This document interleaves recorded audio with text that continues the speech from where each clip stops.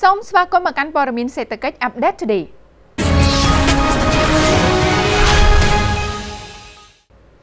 អតីតនាយករដ្ឋមន្ត្រីកម្ពុជា រំពឹងប្រយោជន៍ពាណិជ្ជកម្មបើសមុទ្រចិនខាងត្បូងចរចាតាមអ្វីដែលបានចុះហត្ថលេខានៅរាជធានីភ្នំពេញ។សម្ដេចតេជោហ៊ុនសែនអះអាងចំពោះមុខភាគីហ្វីលីពីនថា បើសមុទ្រចិនខាងត្បូងអាចដោះស្រាយបាននោះវានឹងក្លាយទៅជាច្រកពាណិជ្ជកម្មដ៏សំខាន់សម្រាប់ប្រទេសក្នុងតំបន់និងអន្តរជាតិ ដោយឡែកបើយោងទៅតាមផែនទីបង្ហាញថា កម្ពុជាក៏អាចទទួលផលពីផ្លូវទឹកនៃច្រកសមុទ្រនេះផងដែរ។សម្ដេចតេជោហ៊ុនសែនប្រធានព្រឹទ្ធសភាកម្ពុជាលើកឡើងនៅថ្ងៃទី8ខែកក្កដាឆ្នាំ2024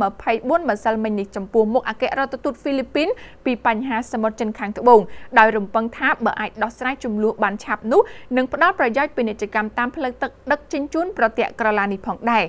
ដើម្បីឈានទៅរកដំណោះស្រាយជាស្ថាពរសម្ដេចតេជោស្នើភាគីទាំងអស់នៅក្នុងតំបន់សមុទ្រចិនខាងត្បូងឲ្យគោរពនិងអនុវត្តទៅតាម DOC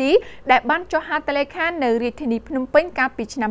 2002ទី2សូមឲ្យភាគីពាក់ព័ន្ធសម្របសម្រួលគ្នាជៀសវាងចំនួនហើយពិភាក្សាប្រកបដោយនៃស្ថាបនាជៀសវាងមានភាពតានតឹងក្នុងតំបន់ ទី3គឺជំរុញទូនីតិរបស់អាស៊ាននិងបណ្ដាប្រទេសពាក់ព័ន្ធធ្វើការចរចាដើម្បីឈានទៅសម្រេចបាននៅក្រមប្រតិបត្តិ COC ឲ្យបានឆាប់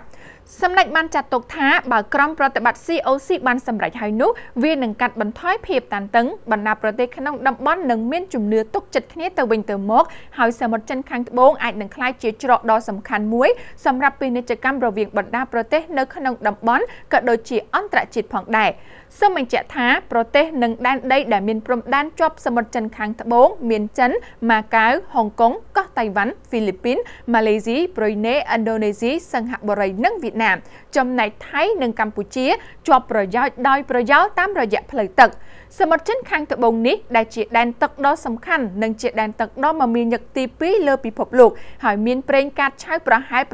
7700លានបារ៉ែលនិងឧស្ម័នធម្មជាតិប្រហែល7500គីឡូម៉ែត្រគូបបើតាមការប៉ាន់ស្មានពាណិជ្ជកម្មពិភពលោកដែលឆ្លងកាត់សមុទ្រចិនខាងត្បូងនេះមានតម្លៃ3.37ពាន់ពាន់លានដុល្លារអាមេរិកក្នុងមួយឆ្នាំមួយឆ្នាំដែលស្មើទៅនឹង1ភាគ3នៃពាណិជ្ជកម្មសមុទ្រពិភពលោកក្រុមហ៊ុន Toyota នឹងបង្កើតសាលាបណ្ដុះបណ្ដាលជំនាញយានយន្តសម្រាប់យុវជនកម្ពុជា។នាយករដ្ឋមន្ត្រីកម្ពុជាលើកទឹកចិត្តឲ្យក្រុមហ៊ុន Toyota Group ពិនិត្យលទ្ធភាពបើកសាលាបណ្ដុះបណ្ដាលជំនាញយានយន្តនៅកម្ពុជាដើម្បីឆ្លើយតបទៅនឹងតម្រូវការនៅទីផ្សារការងារផ្នែកយានយន្តទាំងក្នុងនិងក្រៅប្រទេសនាពេលអនាគត។ សម្ដេចថបដីហ៊ុនម៉ាណែតនាយករដ្ឋមន្ត្រីកម្ពុជាទទួលជួបជាមួយនឹងលោក Fujita Ryoji នាយកក្រុមហ៊ុន Toyota Suzuki Manufacturing Cambodia នៅវិមានសន្តិភាពកាលពីថ្ងៃទី8ខែកក្កដាម្សិលមិញនេះដោយនាយកក្រុមហ៊ុនបានជម្រាបជូនអំពីគំនិតផ្ដួចផ្ដើមរបស់ក្រុមហ៊ុន Toyota នៅក្នុងការបង្កើតសាលាបណ្ដុះបណ្ដាលជំនាញយានយន្តនៅកម្ពុជាសម្ដេចថបដីបានផ្ដល់អនុសាសន៍ដល់ក្រុមហ៊ុនរៀបចំបង្កើតសាលាបណ្ដុះបណ្ដាលដោយក្រុមហ៊ុនផ្ទាល់តែម្ដងនិងជាទម្រង់កូនកាត់ដោយសហការជាមួយនឹងសាលាបណ្ដុះបណ្ដាលរបស់រាជរដ្ឋាភិបាលដែលមានស្រាប់តាមរយៈកិច្ចសហការជាមួយនឹងក្រសួងការងារនិងបណ្ដុះបណ្ដាលវិជ្ជាជីវៈសម្ដេចស្នើបណ្ដុះបណ្ដាលដល់យុវជនកម្ពុជាទូទៅដើម្បីឆ្លើយតបទៅនឹងតម្រូវការទីផ្សារការងារផ្នែកយានយន្តទាំងក្នុងនិងក្រៅប្រទេសនាពេលអនាគតសម្ដេចថបដីបានលើកទឹកចិត្តឲ្យក្រុមហ៊ុន Toyota Group ពិនិត្យលទ្ធភាពលើចំណុចសំខាន់ចំនួន2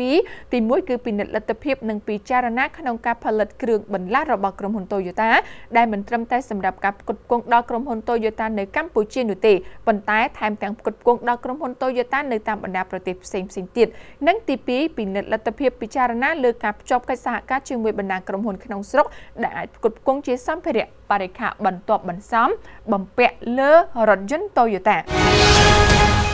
មុនផ្ទុះរឿងពលស្លាប់ត្រីក្រពតមានតម្លៃថ្លៃរហូតដល់ទៅជាង30000រៀល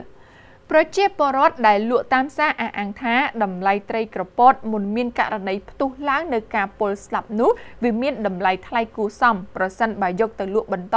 នៅតាមអាហារដ្ឋាននិងគ្រប់គ្រងតម្រូវការអតិថិជនតម្លៃចន្លោះពី25,000រៀលរហូតដល់30,000រៀលផងដែរ។អាជីវករលក់ដូរនៅតាមផ្សារត្រីនៅក្នុងផ្សារលើខេត្តកំពង់ឆ្នាំងបានប្រាប់ហងមាសថា ពីមុនតែងតែមានប្រជានេសាទក្នុងខេត្តបានយកត្រីក្រពោតមកលក់ហើយអាជីវករបានទិញដើម្បីលក់បន្តនៅតាមអាហារដ្ឋាននានាសម្រាប់តម្រូវការជូនអតិថិជន ដែលនិយមទទួលទានតម្លៃចាប់ពី25,000រៀលទៅ30,000រៀលក្នុង1គីឡូក្រាមខណៈដែលកាលនោះហាក់ដូចជាពុំមានករណីពលធ្ងន់ធ្ងរនិងស្លាប់មនុស្សនោះឡើយប៉ុន្តែមួយរយៈនេះមានត្រីក្រពោតនាំចូលពីក្រៅខេត្តមានលក្ខណៈធំធំជាពិសេសមកពីខាងខេត្តស្ទឹងត្រែងក៏នាំចូលមកលក់ផងដែរ សូមបញ្ជាក់ថាក្រោយមានករណីបាត់បង់ជីវិតមន្ទីរសុខាភិបាលខេត្តកំពង់ឆ្នាំងបានហាមឃាត់ចំពោះអ្នកនេសាទត្រីហាមលក់ចែកចាយបរិភោគត្រីក្រពោតចំពោះអាជីវករលក់ត្រីអ្នកលក់ម្ហូបអាហារនៅតាមទីផ្សារនានាក្នុងខេត្តកំពង់ឆ្នាំងត្រូវឈប់លក់ត្រីក្រពោតចំពោះប្រជាពលរដ្ឋអ្នកបរិភោគត្រូវឈប់ទិញនិងឈប់បរិភោគត្រីក្រពោតព្រោះមានការពុលអាចបណ្ដាលឲ្យស្លាប់ទោះបីជាចំអិនឬដាក់បង្កកយ៉ាងណាក៏ដោយ នៅគ្រប់សាលារៀនសូមជួយផ្សព្វផ្សាយដល់សិស្សានុសិស្សដោយហាមបរិភោគអាហារត្រីក្រពោតសូមបញ្ជាក់ថារោគសញ្ញាកើតក្រោយពីការបរិភោគត្រីក្រពោតរយៈពេល20នាទីទៅ2ម៉ោងមានដូចជា